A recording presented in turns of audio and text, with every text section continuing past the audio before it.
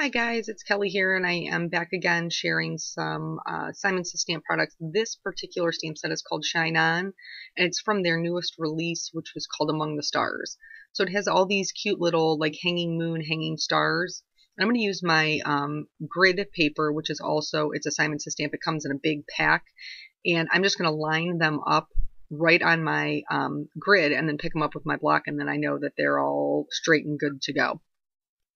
So I'm actually going to be working on two different backgrounds, working on Canson watercolor paper, and on both of them I'm going to be stamping in um, in, intense. Oh, why did I want to say intense? I have no idea. Intense, uh, intense black um, Simon Says stamp ink, and it's because it's waterproof as well as Copic safe. So I've never used these stamps before, so I was just kind of prepping. You can see me stamping on a scrap sheet over there just to make sure I get good coverage. And then I didn't want the face on my sun. So I'm just using a baby wipe to go ahead and wipe away her face. And then I'm going to stamp that down. I thought that my original intention with this card, I thought it would be super cute to kind of do it like a pictogram where you removed parts of the sentiment and replaced them with pictures. That was my original intent. And you can see to the left there, that's another background I'm working on. Um, this is Liquid Miskit by Grumbacher and I'm going to put this over the images so that it protects those images from any of the watercolor I'm going to be doing. It's like a latex almost that just protects it. I have a paintbrush that's strictly devoted to this because it does get kind of goopy even though you clean it off. Because it is so liquid, you can also use this particular masking fluid. I can't speak for other masking fluids, but you can use it to kind of speckle it on your paper and it will still create um, those little masks, but it'll be like in droplets, which I thought would mimic stars. So here I'm using some Zig Clean Color pens. I have the 36 pack, and then I do have some little extras that I bought, but all the colors I'm using here are included in that 36 pack. And you can see this looks like my three-year-old son colored it. I'm really just scribbling on the cover color to dry paper. And then I'm going to go back in um, with a wet paintbrush. And I like to work in groupings of the same color. So I did all the light blue, then all the pink, then all the purple the reason that I choose to do this, and I am rinsing in between, very important. These put down a lot of color, um, so it's really easy to drag it away and into other colors, and that's why I do them like color by color, because otherwise you would just end up with one solid color, and there wouldn't you wouldn't be able to see the pink or the light blue. So make sure you rinse in between if that's the look you're going for. I'm going to dry it down. I prefer um, colors that are super vibrant but I knew that I wanted to be able to um, still see the images and, and the writing that I was going to put down. So I concentrated the second level of color really just on the outside. I'm going to wet the middle so that it's already damp and then that darker color will run into it. If I touch the the water to the darker color first and then dragged it into the middle, like I talked about just a second ago, it would just drag all of that dark color and cover up the lighter areas which is not what I wanted. So once I have all of those just kind of blended, I don't mind hard and soft lines in my um, in my watercoloring. I'm going to add some little speckles, which is going to break up the the coloring in the background. Um, I am going to blot off some of the water just where it was kind of pooling around there. Even though I tape mine down, I still have a tendency to get some areas that pool. So I just kind of blotted that up.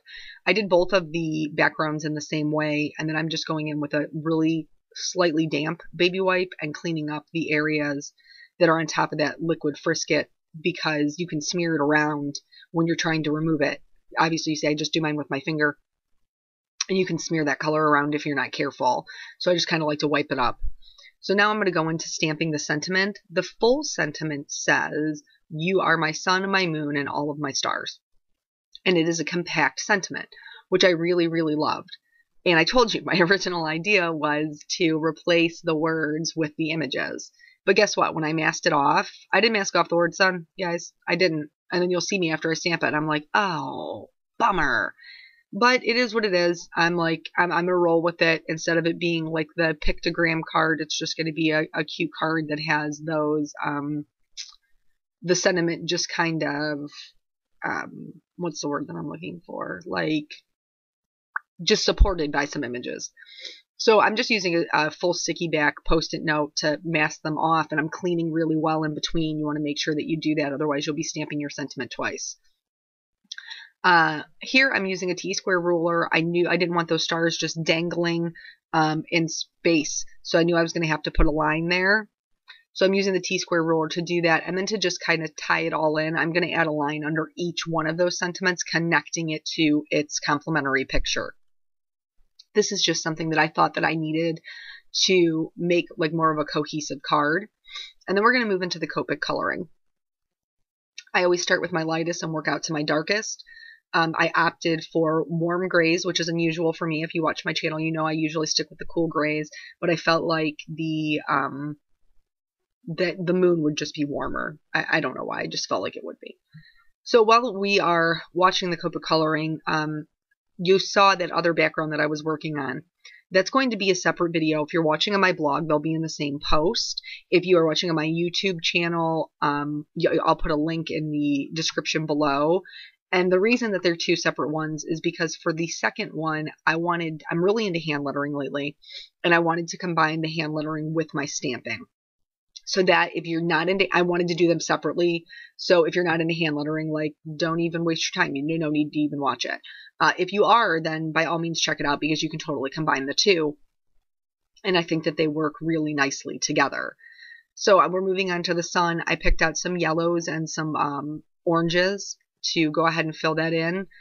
The face I had to leave on the moon because he is shaped that way, but I didn't really want the sun to have that um, to have that face. I just felt like it was kind of too busy. So I'm a I'm more of a simple girl, and I already had a busy background going on.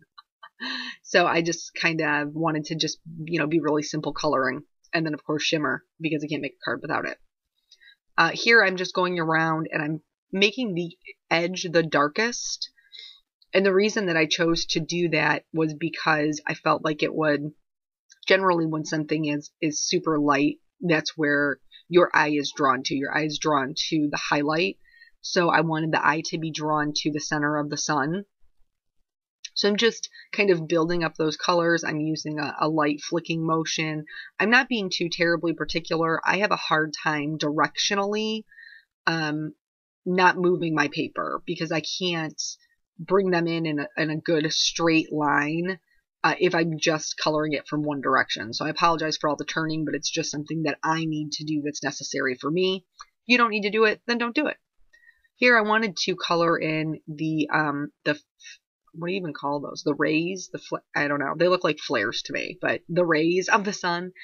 I wanted them to have some shading, but they're very tiny area, and I wanted the area in between them to remain that pale yellow. So I opted to start with my darkest color first. If you have trouble coloring in small areas, I usually start with my lightest, go out to my darkest, darkest back to my lightest. That's a lot of ink on a paper, and that's a lot of risk of bleeding outside of the lines. If you are concerned with that, if you have trouble having a light hand, you're still practicing, still learning, um, you don't need to do that many layers. You can still get a good blend without that many layers. So don't feel like you need to, because even in scenarios like this, I'm still, um, I was a little gun shy about using, you know, that many layers of color. And I thought, well, it's a tiny area. I can get a good blend. I'll just start with my darkest. And it ended up turning out fine. And I, I was happy with the way that that looked. So, like I said, I wanted to keep the area in between them um, light, so it already is that light yellow. And then I just added um, some darker spots so that there would be some highlights around the sun. I used um, a mid-tone and then out. Um, I just used three colors because, again, it's a tiny area. And I'm going to use that same light yellow to kind of finish everything off. I'm going to use the same colors in my stars. Um, not all of them. I'm just going to use the, the Y00, the Y13, and the YR15 uh, because they're pretty tiny. I'm not going to need a ton of blending.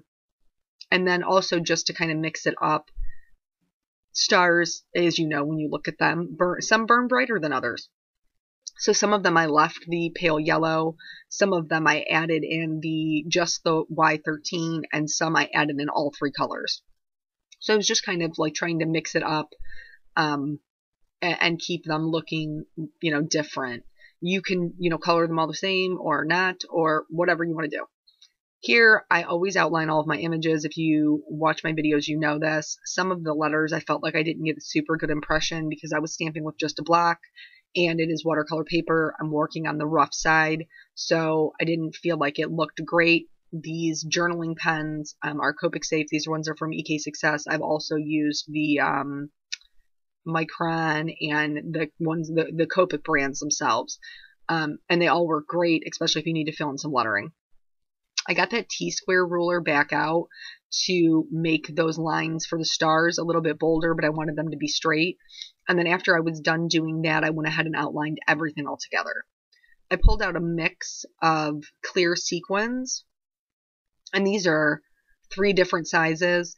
And the reason why is because the way that this card flows um, from left to right to left I wanted something to draw the eye in the correct order. So when you look at it, like your eye automatically follows those sequins and just kind of finishes it off. To complete the card, I used Clear Wink of Stella um, on just the center of the sun, the moon, and then all of the stars, and then that completes the entire card. So if you would like to see the uh, hand lettering, you're more than welcome to check out the next video. If not, I will catch you guys on the next video. Bye.